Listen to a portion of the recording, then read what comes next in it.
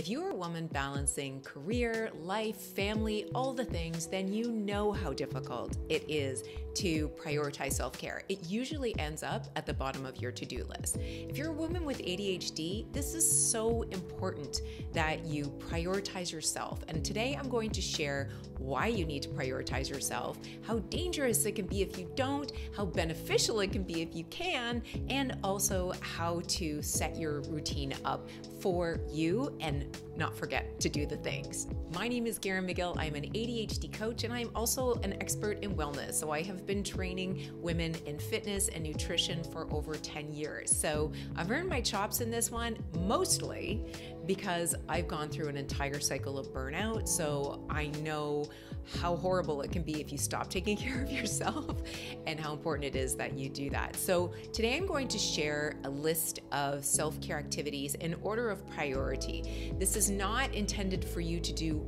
all of them, it is intended to be an exercise and inspiration where hopefully you can pick up a few things that you may not be doing right now, but that you think you can do quite easily and start adopting them. So I'm going to have this printed on my website as well in, form, in the form of a checklist. But once again, it's not to be doing all the things, it's to be doing the things that you think you need most. So the first one is obviously going to be sleep. This is so important to prioritize getting at least seven to eight hours sleep a night.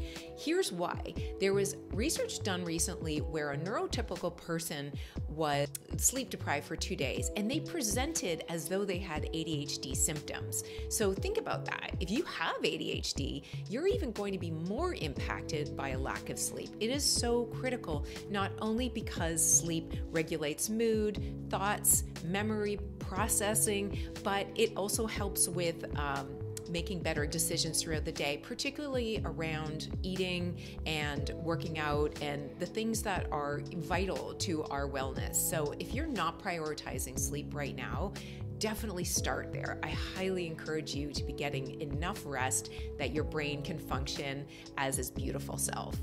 Number two is definitely get your body moving at least 30 minutes a day. So, here's some interesting research. If you are exercising for about 20 to 30 minutes of moderate to intense exercise, you can expect to get up to two to three hours of focused attention afterwards. That's because when you work out, you're increasing blood flow to the brain, and it's also great for mood and just general emotional regulation. So get yourself moving and make sure that you're taking care of your body in this way so that you can move today and when you're rocking it in your 90s because movement is critical to uh, thriving with an ADHD brain. So always be making sure that your movement is sustainable, something that you can do now, something you can do in the future because it is so important. Number three is hydration. Maybe you knew this, maybe you didn't, but when you have a lot of brain fog, sometimes it's very often because your brain doesn't have enough hydration. So when we aren't hydrated enough, we can lose concentration and also feel very hungry as well and get distracted easier. The next thing is to start your day with a protein rich meal. So notice I didn't say breakfast because some of us like to intermittent fast and that's just fine. But your first meal should be protein focused and also with some fat. Not only will this set you up for a better eating day throughout the whole day, but if you avoid sugars and simple carbs, then you avoid that cycle of um, spike and crashing of insulin, which will continue to cycle throughout the day. Starting with a protein rich meal might look like eggs or unsweetened uh, Greek yogurt or protein smoothie. But however, if you are doing a protein smoothie, try to avoid using fruit juices and bananas because they have a lot of sugar in them. Berries are okay though. The next tip is obviously take your meds and put them somewhere that you will not forget them because ADHD. The next recommendation I have is making a goal of walking 10,000 steps a day. Now, you can do that in the form of running if you're a runner and probably accomplish it pretty quickly. But if you're not a runner, then you can definitely just be walking around the house, going for a walk outside in nature, or just moving and cleaning and running after your kiddos. I use a Fitbit and I find that that helps me track my steps really easily throughout the day. And I always sort of gamify it. So I have a friend who also tracks her steps and we always share our, um, our steps at the end of the day and also our sleep scores. And it helps to keep us motivated and connected to that goal. And by the way, walking is so important, not just for your physical health, but for your mental health. Uh, research has recently come out saying that people that walk for at least three days a week, 30 minutes at a time, have a much lower chance of uh, developing Alzheimer's. So, hey, that's another great reason to take your brain for a walk. The next thing I recommend doing is future self journaling. So, if you are somebody who journals, this is going to be a fun process for you. If you're not somebody who journals, maybe this is something you pick up. And if you don't like writing, you could always do voice journaling with a voice recorder app. But essentially, what uh, future self journaling is it's an intentional way of writing a narrative and crafting your future self word by word. So you are exploring ways that you are going to create that person and also nurture them. Like where where are they in 5 years and what does their financial situation look like? What does their health situation look like? If you want some prompts for future self journaling, head to my website. It's adhdfriendly.com. I have a list of free tools there. I will link them below, but future self journaling is a fun thing to do and it is really productive in terms of just moving yourself towards the, your future vision of yourself. The next thing I recommend for all folks with ADHD is doing yoga. So, yoga is a practice that brings you into your body. A lot of us live in our heads, so we have we tend to forget that there's even anything from the neck down. Yoga brings you back into your body. It's grounding, it's great for your nervous system, and the balancing work that you do in yoga is also really good for the brain. It's just generally very calming. And when I say practice yoga, I don't mean going to a studio every day for a 90-minute session. There's no way I could do that. I do practice yoga in my house I roll on a mat in my living room, and most of my practice is like 20 to 30 minutes at a time. But I find teachers that I like either through YouTube or uh, I also like Alo Moves. I'll link to that below. They've got great yoga classes, fantastic teachers.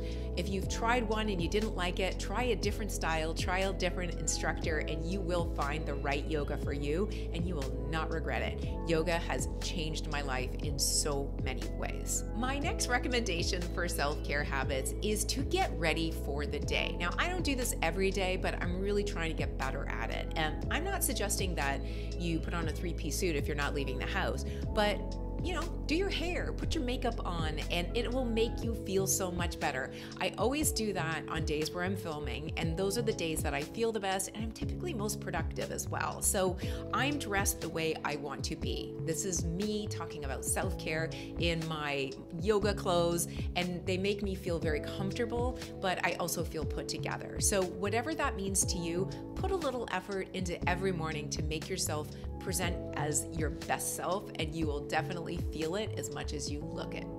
The next suggestion is something that I have been working on all this year. It is actually my word for the year, and it is creating boundary. I have boundaries that keep me focused, and then I also have boundaries that keep me feeling safe and just myself in my relationships interactions with other people. I have boundaries for work, boundaries for home, and I find that as I'm developing these, I'm becoming much more myself. And the more I become myself, the more I give the permission to the people around me to do the same. So boundaries are really one of the best things that you could do for yourself and the people that you love. And the last thing that is very ADHD focused and very ADHD friendly is to find your tribe.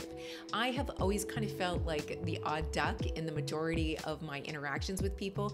I didn't realize it was because of ADHD, but getting diagnosed last year and finding my community has been life changing. You start to realize that you're not alone out there and that there's other folks that think the same way you do. And there's nothing wrong with us. We're actually pretty awesome, but we need to find our people. So find yourself an ADHD community. I have several and they have been life changing. This also goes for coaching, both uh, getting a coach for myself, but then I also went through a coach training. So having an ADHD specific coach can be really helpful in terms of helping you figure out an operating system for yourself that's going to help you thrive because your brain is neurodiverse and we live in a neurotypical world. So it takes a little bit of extra time, thought, and imagination to create a world that's really going to allow us to thrive in it. And a coach can help you do that, particularly an ADHD coach.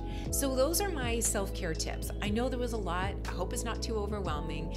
And I hope you realize that this was just intended to inspire you to maybe pick up a few things. Don't try to do all of it because ugh, that just never works out well. But I will say, since picking up these habits in 2017, not only did they help me heal from burnout, they helped me thrive. Like I am the person today because of all these habits. So I do it not because I need uh, like gold stars, but I find that if I do these habits more and more, I want to do them more and more. But if I get out of the habit of them and I do them less and less, I start to feel crappier and my bad habits start to creep up. And I don't want that for me and I don't want it for you either. So find the habits that work for you. Maybe they're completely different, but if you have some that have really helped you, I would love to hear them. So please drop them in the comments below. And again, if you'd rather listen to these ideas than watch them on YouTube, although I do love that you're here, uh, please feel free to search for my uh, my podcast. It's called the ADHD Friendly Show, where I talk about the same ideas that I do uh, here on YouTube, and I also share them in the Sunday Setup, which is a weekly email that goes out to all my ADHD folks and to set them up for the week ahead with ideas, inspiration, and tools for living your best ADHD life. So thanks for being here, guys. I really appreciate it, and I can't wait to share more ADHD friendly topics with you in the future. So hit subscribe, and I'll see you next week.